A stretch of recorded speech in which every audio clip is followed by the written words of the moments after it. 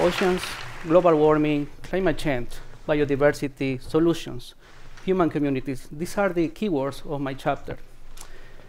In my research, we want to try to understand what is the combining effect, the interaction between climate change and pollutants. Our oceans are being converted basically in a dump. Um, because, of our, because of our bad behavior, we are basically reshaping the chemistry of the oceans.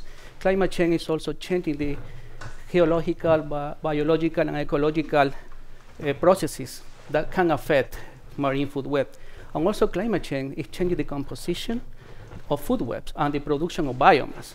These changes have repercussions for seafood security and also for fisheries. To understand this process, we set up a platform to try to understand how this is working, how this is affecting the ocean. So we know that the ocean can absorb high levels of CO2, but this uh, have a price. That price that the ocean become more acidification, and also is changing basically some of the methylation process, for example, for mercury, and also changing the exposure pathway for some pollutant of great concern like PCBs, methyl mercury, and many others. We know that high level of pH can change the speciation of some metal like methyl mercury. And methyl mercury is a potent neurotoxicant that is affecting uh, fish and also affect marine mammals and even humans.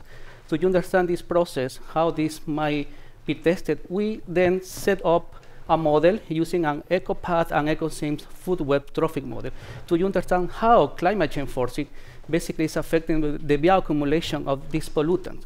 I am going to show you now the example with methyl, methyl mercury, because methyl mercury basically is one of the most uh, neurotoxic pollutants that we have today. And, and, this pollutant is still in the environment and in the ocean environment. We found, for example, that at the base of the food web, the fundamental trophic level can respond with a signal to the forcing under a worst case scenario using RCP 8.5, basically we see a response related or when we compare this with the baseline.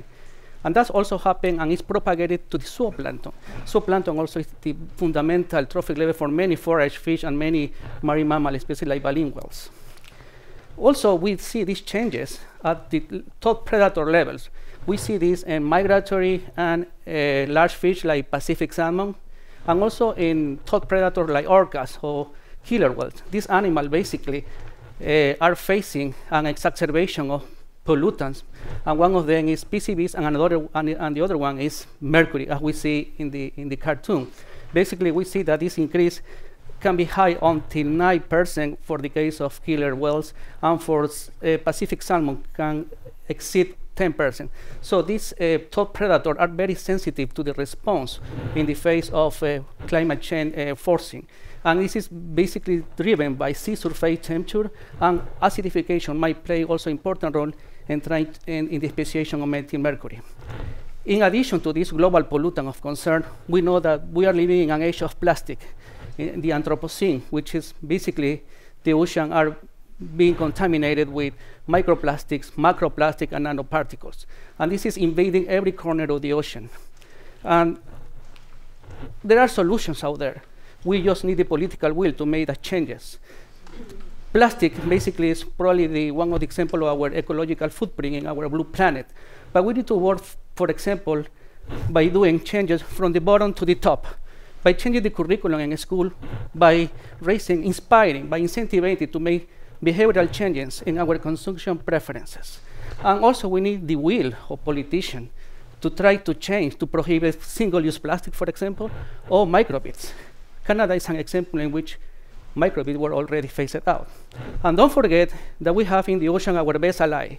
We have in the ocean our ally, the marine creatures. We have marine mammals, which contribute with iron defecation to export carbon to the ocean, to recycle that carbon, we need the contribution of sea urchins like echinoderms, sea cucumbers, that they are basically plastic eating machine. If we look at the future as a natural remediation, a pathway to capitalize for future generation, maybe we can path a way in which humans can coexist with the oceans. Thank you.